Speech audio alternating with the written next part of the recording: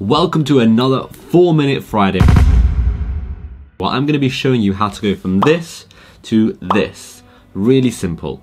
As you can see, this first one is quite an ugly shirt. It looks like the image has just been slapped on the shirt.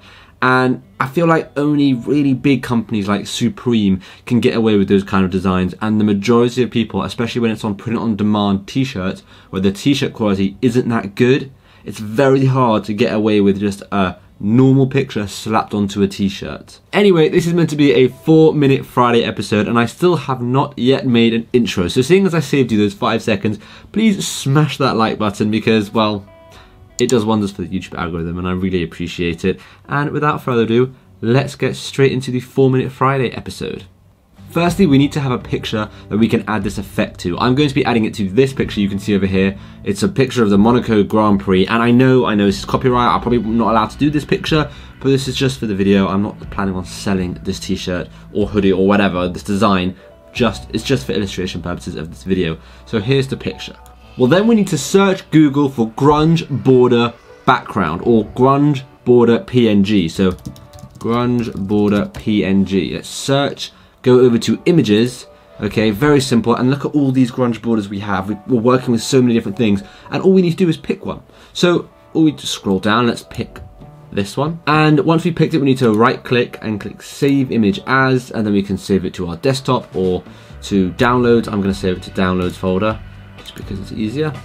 Click save. The next thing we have to do is open our original image in Adobe Photoshop just like this, right? And that's what we're gonna, this is what it's gonna look like. And this tutorial is for Photoshop, however, it can be done with other platforms, but for this video, I'm just using Photoshop. Now what we want to do is we want to get the grunge PNG file and drag it on. So let's go and do that. Right, you can see I've now dragged on my grunge PNG file. All I need to do is size it up. So I'm gonna have to rotate this 90 degrees. Okay, now that I've done that, I need to size it up. So let's do this. Okay, this is what the image looks like right now. The next thing we need to do is unlock this layer. So just click this little padlock, that unlocks that layer. That means we can start editing and doing stuff to that layer. The next thing you want to do is you want to go and select the Magic Wand tool, which is this thing over here, Magic Wand tool. Now you want to click on the black. So make sure the layer is selected. Can you see that little sign there? Make sure it's rasterized. So go over, click rasterize layer, again, means we can edit it. And now let's select the black. And that selects that entire layer. Alternatively, you can hold down command or probably control on your uh, PC and click the layer image and it will select it perfectly. So now you can see I've got a selection over here. Well, what's next? Well, we want to hide the grunge layer and you can see the selection stays. We want to select our Monaco picture layer and a very simple backspace. And it's gone. Nice, right? Now we need to fix the excess um, at the top. So what we're going to do is we're going to do a simple rectangular marquee tool. We're going to select the whole top and we're going to go back to a backspace. Gone.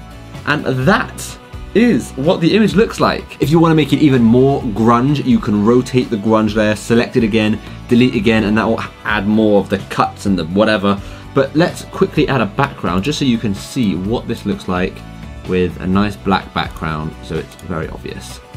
Looks pretty good, right? And this on a t-shirt will look so much better than a slapped on image because this allows it to blend into the t-shirt, right? Blend it into the, it looks like it's like blended into the fabric kind of, rather than it's just a picture on your chest. Was that four minutes? I feel like it very much was not four minutes but it was still a good video, good tutorial. Let me know in the comments down below if you want to see any other kind of tutorials like this. I love making quick tutorials just to, just to show you one, you know, design trick or design hack that can really elevate your your level of design, especially with this, because I see with Are Your Designs Any Good, so many people, right, are sending me designs where it's just a picture slapped onto the design, and it never looks good.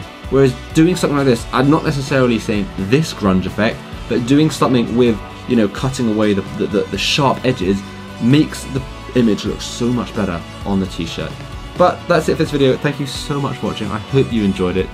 Please don't forget to uh, like the video and again leave a comment down below if there's anything, any quick videos you want me to make, quick tutorials for 4 Minute Fridays. And uh, yeah, I'll see you in the next video.